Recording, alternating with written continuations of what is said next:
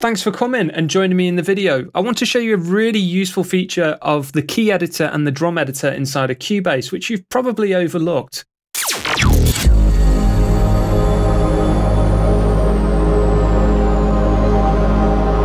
Here inside of the key editor, there's a button at the very top in the toolbar called Pitch Visibility. And when we turn this on, what's going to happen is all of the notes that don't contain any MIDI data will be hidden from view like so, giving you an overview of what's being used and also show you the notes that the MIDI is on. Now in the drum editor, it's exactly the same story. If we click on this button, it will hide all of the stuff that does not contain any MIDI data and what's useful about this as well is that if you do need to rename any of these, it's easy to do so because you can just click on the instrument to rename it. So, for example, this could be a snare drum for this library for all I know.